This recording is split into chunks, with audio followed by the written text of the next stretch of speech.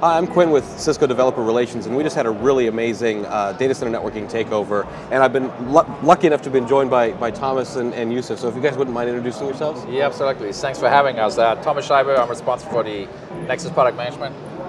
And I'm Yousuf Khan, I'm responsible for the technical marketing function for the data center product. So uh, with the, the takeover, you guys had an amazing breadth of, of information that was covered. It was almost too much for 45 minutes. I, my mind was spinning. But from a developer standpoint, which is how I always look at these yeah. kinds of things, um, I'd like to get, well, first of all, your take on, on Nexus Dashboard and Nexus Cloud, two really amazing products, but how do you see our infrastructure developers and our infrastructure automation engineers changing the way that they manage their networks using those products? Yeah, let me, let me start and maybe chime in. I mean, first, Nexus Dashboard, Nexus Cloud, what we basically did is saying, hey, uh, we have a tremendous amount of work done on the APIs on the Nexus switches itself, but then customers come to us and saying, hey, this is good, I want to work with that, but I also want to have automation tools that Cisco supports uh, that basically do controller function, monitoring function, that sit on top and basically work across multiple switches, fabrics. So what we did is that set of tools, we put them under the brand and product name Nexus Dashboard is something you're going to deploy as a piece of software on-prem in your location on top of an appliance, virtual appliance, or you can use it as a SaaS service, which is Nexus Cloud. So that's the way to think about it. Nexus, that's where Nexus Cloud are these set of operations tools to manage fabrics, monitor fabrics. So another question is a developer, this is cool, what does a developer do with that? The answer is the same what we do on the switches. We put all the APIs there, we put northbound APIs on these tools. Because clearly, most of our customers are saying, hey, I have some help you manage a fabric instead of individual switches, but I now need to integrate this into workflows with other infrastructure. And that were the northbound APIs I got for, the abstraction layers that we built into these tools. So that's probably a way I think about it, but you know, no, you're, you're much closer to reality. No, no, you're absolutely right. I think as I mentioned also during the takeover, is that we are an API first company and an API first product line, right? So we want to make sure that we have a very robust and a powerful and an open REST API available on our platforms, right? And we're very well documented also. Uh, and thanks to the partnership we have with the DevNet guys, right? I mean, because that helps us quite a bit in making sure that our documentation and API is consistently clean um, and easy to consume, right? So now, what what we have done in the products such as Nexus Dashboard and Nexus Cloud is automate, provide a lot of out-of-box automation.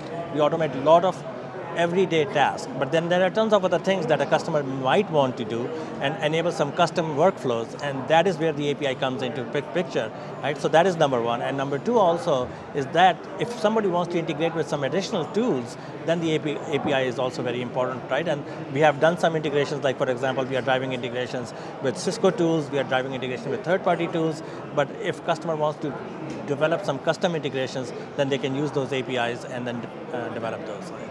No, that's great. I mean, I, I kind of joke that sometimes the, the code that gets created, whether it's through DevNet or something else, kind of almost acts as like glue between products. You have these different integration points, but having those APIs there really enable that to happen. So it's great to hear that, that you're leading with that in, in a product set because, like I said, as a developer, that's kind of the, the, the bread, bread and butter what we do with the infrastructure. I, I, do want to pivot a little bit because you know from from you know take it from the completely out of box to uh, the Nexus Code uh, project that, that was talked about there and was released. Like, I, I mean that is as someone who's worked with infrastructure as code for a number of years. Like the Nexus Code project is really cool to me. But what what drove the the uh, creation and, and open, even open sourcing of that uh, to the to the general public for free? Want to there? No, absolutely. So I think the primary um, motivation was how we can make it simple for customers to adopt automation. Because we certainly believe that you can get the best use out of our infrastructure if we can adopt automation, right? And given that customer has, Cisco has such a big uh, variety of the customers. I mean, we have customers on each end of the spectrum, customers who are like all DevOps, right? And customers who are classic CLI. like CLI driven customers, right? And how do we help those customers get on the automation bandwagon? Because, I mean, in the EBC, it was a very common theme that, look, yes, we understand the value of automation, but we don't have the skill set, we don't have the team who can do it, or we don't have the time, right? Which is all the same thing.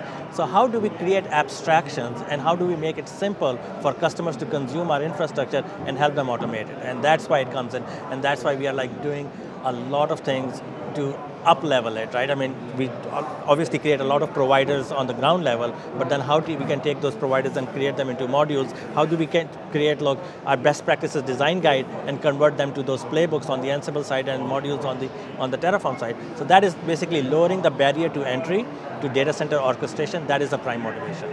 Yeah, I, I mean that's pretty much captures. I mean, if you look at this, the the real challenge and advantage, I guess, is we have this whole range of expertise on operations team, what they're trying to do. So there's really the traditional, as say, it's CLI, and then there's the other one, nothing but an API, and it can be very elaborate. And so what we're trying to help with Nexus as Code is really honing in on some of these abstraction that we think based on how we would recommend to deploy infrastructure, and what we see customers telling us, what is the right abstraction layer to make it as simple as possible, right? As you might imagine, there's no really good straight answer. a lot of this is just a feedback circle uh, that, that we that we want to quite frankly engage on. What we do know is if we just do a, you know plain vanilla uh, Ansible playbooks or a Terraform provider, you know for some that is very intuitive that have used this another piece of infrastructure. For some it's not, and so what we what we're doing with Nexus Code is trying to find a middle ground on on on these abstraction layers that makes sense. Uh, and it's really to Yousuf's point. I mean, the, the key piece is really helping customers move towards an automation approach.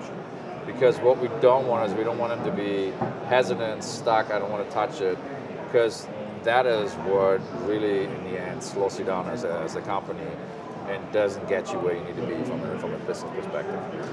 Yeah, no, and, and I mean, it's a common theme of, of how do I get started, where do I get started? I've been yeah. hearing those through all of my sessions as well. So I'm glad that, that that's being addressed and, and, and it really makes it a lot easier and consumable. Uh, the, the one thing I do want to touch on, and, and it's something that I've uh, played with a little bit, and talk about speed of, of adoption, being able to move the business faster. Um, one of the things that, that also caught my eye during the presentation was this concept of application derivative change. It, it it almost feels like we're giving control of the network to our applications teams because we're scaling it at, at the speed of them. And I know that would drive uh, uh, traditional infrastructure people absolutely crazy because they don't want to regain or lose control of the network. But um, what's been the adoption and, and, reaction from the community about something like that? I, was there been a lot of hesitance, or was there a, a, wide scale like hurrah that we're finally getting that we need to move the infrastructure faster on prem? Well, let me let me take a cut on that and then go in. It's like I actually see that used to be probably what you just alluded to, who controls what. I think that's where we were probably more like four or five years ago. And, and part of what I'm saying this is clearly there is you want to have control over the process, right? You can't chase everything every minute. Uh, and so there are going to be approval cycles. That's normal process, but I think that's also true in a pure application, cloud-based deployment mode, right? I don't think that's that different. What, what I do see is we, we see two insertion points for these automation approaches. One is clearly the infrastructure team, the network team in our case, exposing their infrastructure as a service, as an API. So the, the users of the infrastructure can do some of their configuration without waiting for the for the infrastructure, they just make it an API call. So that's, I think, one one aspect. And you know, that you're not going to allow everything to be configured. You're not going to allow the app team to reboot your switch or re-image your switch. But you can control some of these things. You don't want to be in the middle and want to be the, the, the block for them to move forward, right? So that's one aspect. This is like the more, I call the, the application-centric kind of view. Uh, there is another piece that the network team itself has no choice than to automate and drive, and it's just all API driven, right? Because if you look at this, even if it's not necessarily application done, it's just, hey, I need to bring up a new segment, I need to add a new switch, a port to a segment that exists from a, from a zoning segmentation perspective, or hey, somebody decided to fire up a new VNet uh, in one of these clouds, and I need to map it back to a, to a, to a zone from a security perspective right? So that is actually more like the network team would typically do this. You don't even wait for the app team, just the network team owns this. But instead of having like weeks to, you know, I need to open a ticket, I need to get it done, and I wait and I open a test. That's why I think the other loop is, the network team itself actually using way more automation going forward to accelerate, as well as the thing which is very important. If you do automate this, you automatically have compliance tracking because you do actually use a process now, you can track what you did, so you actually know what happened. So I see this actually as a positive thing, and we get this feedback to back to your question. there's clearly the application, this is great, my networking team finally gets it, but there's also the networking team actually use this as very, very helpful thing to actually drive what they need to do in terms of automation.